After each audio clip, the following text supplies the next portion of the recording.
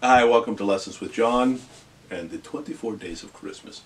Uh, today we're going to try Blue Christmas on the ook, okay? A whole bunch of chords you're going to need for this one. We need a C chord, which is the first string, third fret. Alright, G7 is the third string, second fret, second string, first fret, and then the first string, second fret. That's a G7 chord. D minor, we're going to need uh, second string, first fret, and then your four and your three strings at the second fret. That's your G minor, uh, sorry, your D minor. Your G minor is your next chord. That's the first string, first fret, and then uh, third string, second fret, and then the second string, third fret. All right, that's a G minor. A7 is the uh, third string, first fret. Everybody else is open. Uh, D7 is the fourth string, second fret, second string, second fret, just like that. And then a really tough chord you're going to have, um, you might have issues with. Uh, you have to practice it.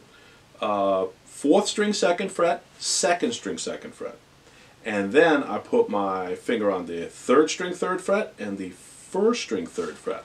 So all four fingers get to play. That's an F sharp diminished seven. Okay? And that sneaks up on you. That's going to come in, and it's just for a short moment. It's a passing chord. Diminished chords just pass between chords. It's a way of connecting things. Um, it's also like the Snidely Whiplash, you know, they did that in the movie theater. It's the, the thriller chord that the piano player would play back and forth. Um, okay, so Blue Christmas. Uh, our strum, we're just going to use our generic, uh, we're in 4-4 time, we're going to use our wagon wheel strum, if you remember that one. So it's down, down, up, up, down, up. Okay, so the problem with that one, down, down, up, you're up here, but your next one's an up. So you got to get your hand down to finish it off. So it's down, down, up, up, down, up. Okay. Okay, you can do this like a, like a country type song. You know, a lot of the country singers do this one. Uh, you can do the Elvis one like this if you want. Um, uh, I love all of them, so uh, any one you want. But that's that's the strum pattern. That's a pretty easy one. Um, we've done it in many songs, so you should be able to catch on to that eventually if you if you watch any of these videos. All right, so I'm going to have a Blue Christmas. Here we go. Uh, we're going to start with a C.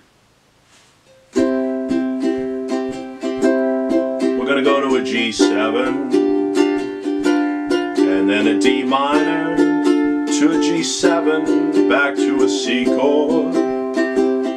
G minor sneaking up to an A7, to a D minor,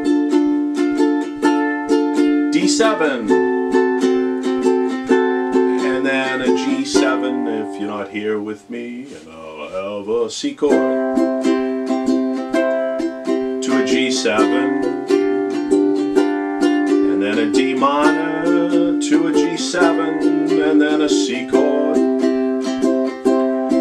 G minor to an A7 to a D minor and then the F sharp diminished 7 and then the G7, and then the C chord, and then you can just repeat.